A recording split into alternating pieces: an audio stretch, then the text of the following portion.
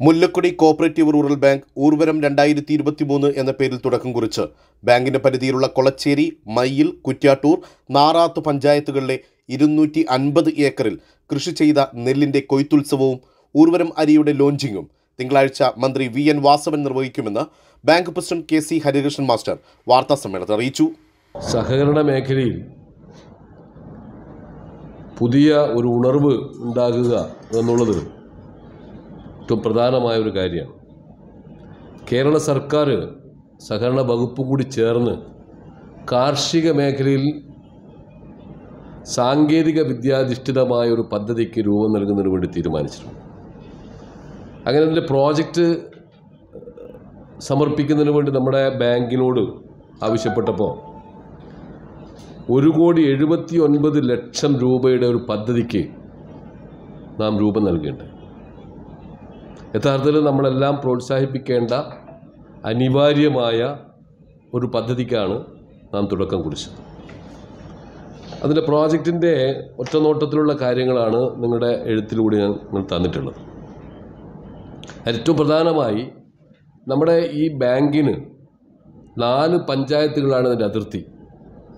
ഈ നാല് പഞ്ചായത്തുകളിലും ഉള്ള തരിശു ഭൂമിയാകെ കൃഷിയോഗ്യമാക്കുക എന്നതാണ് നമ്മൾ ലക്ഷ്യമിട്ടത്. ഇത് സംബന്ധിച്ച് നമ്മൾ കൃഷിക്കാരെ സമീപിക്കുകയും അവരുടെ ഒരു താല്പര്യം കൂടി നമ്മൾ കണക്കിലെടുത്തുകൊണ്ട് ആദ്യഘട്ടത്തിൽ ഏതാണ്ട് ഇരുന്നൂറ്റി അൻപത് ഏക്കർ ഭൂമി തരിശായി കിടക്കുന്നു. നിരവധി വർഷങ്ങളായി തരിശായി കിടക്കുന്ന ആ ഭൂമി നാം ഏറ്റെടുക്കുകയാണ് ചെയ്തത്.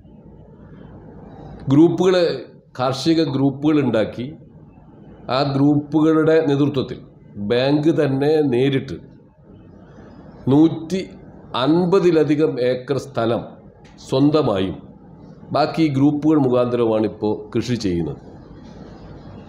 അങ്ങനെ കൃഷി ചെയ്ത് ആദ്യഘട്ടത്തിൽ വലിയ ആശങ്ക നമ്മളെ സംബന്ധിച്ചിടത്തോളം ഉണ്ടായിരുന്നു. പക്ഷേ ഇപ്പോൾ ഏറ്റവും ഒടുവിൽ എത്തി നിൽക്കുമ്പോൾ ഈ പത്തൊൻപതാം തീയതി അതിന്റെ വിളവെടുപ്പ് കൊയ്ത്തുത്സവം നടക്കുകയാണ്. എല്ലാം കതിരണിഞ്ഞ നെൽപ്പാടങ്ങൾ എന്നൊക്കെ നമ്മുടെ ഇതിലൊക്കെ പറയുന്നത് പോലെ ഏറ്റവും മികച്ച വിളവായി ഈ നെൽപ്പാടങ്ങളാകെ കൊയ്ത്തിനു വേണ്ടി സജ്ജമായിരിക്കുകയാണ്.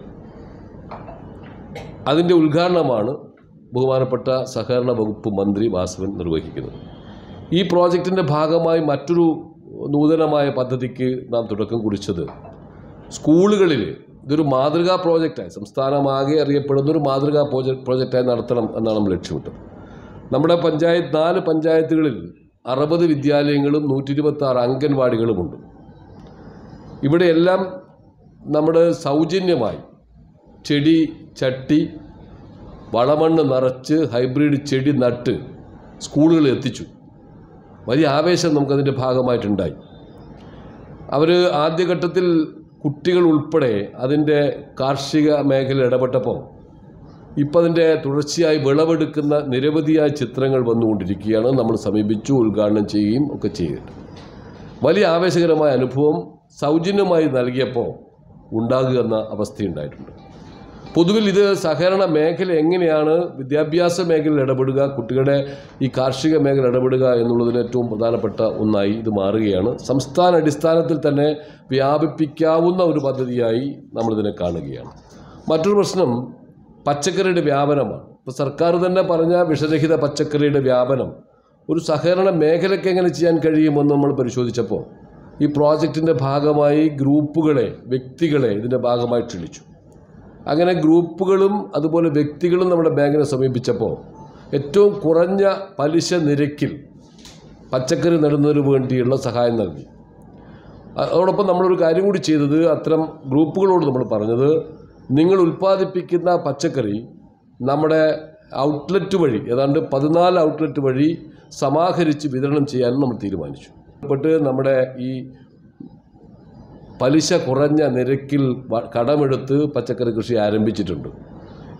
ഇതിന്റെ ഈ കുട്ടികൾക്ക് നമ്മൾ ചെടിച്ചട്ടി നൽകിയപ്പോൾ പൊതുവിൽ നമ്മുടെ പ്രദേശത്തെ ആളുകളെല്ലാം പറഞ്ഞു ഞങ്ങൾക്കും ഈ ചെടിച്ചട്ടി വേണം എന്ന് പറഞ്ഞപ്പോൾ അതുപോലെ തന്നെ നൂറ് ചട്ടി വരെ അതിന്റെ പരമാവധി നൽകിക്കൊണ്ട് വളമണ്ണ് നിറച്ച് ചെടി നട്ട് അവരുടെ ഡിമാൻഡ് അനുസരിച്ചാണ് കൊടുക്കുക നമ്മൾ പലിശ ഒന്നും ഈടാക്കുന്നില്ല. ചെലവായ തുക ഗഡുക്കളായി നമ്മൾ സമാഹരിക്കുകയാണ്. ഇവിടെയും കാർഷിക മേഖലയിൽ വിപ്ലവം സൃഷ്ടിക്കണം എന്നാണ് നമ്മളിപ്പോൾ ആലോചിച്ചിട്ടുള്ളത്. ഇതോടൊപ്പം തന്നെ ബാങ്ക് ഈ പ്രോജക്റ്റിന്റെ ഭാഗമായി ബാങ്കിന്റെ അംഗങ്ങൾക്കാകെ സൗജന്യമായി ടിഷ്യൂ വാഴകൾ രണ്ടെണ്ണം വീതം നൽകുന്നതിന് വേണ്ടി തീരുമാനിച്ചിട്ടുണ്ട്. ഫെബ്രുവരി പത്തൊമ്പത് തിങ്കളാഴ്ച രാവിലെ എട്ട് മുപ്പതിന് കുറ്റ്യാട്ടൂർ പഞ്ചായത്തിലെ പഴശ്ശി പാടശേഖരത്താണ് ഉദ്ഘാടന പരിപാടി ഒരുക്കിയിരിക്കുന്നത്. രണ്ട് കിലോ അഞ്ച് കിലോ പത്ത് കിലോ ബാഗുകളിലാണ് അരി വിൽപ്പന. വാർത്താ സമ്മേളനത്തിൽ K V Abhilash M Ramachandran C Haridas Babu തുടങ്ങിയവർ പങ്കുചേർന്നു.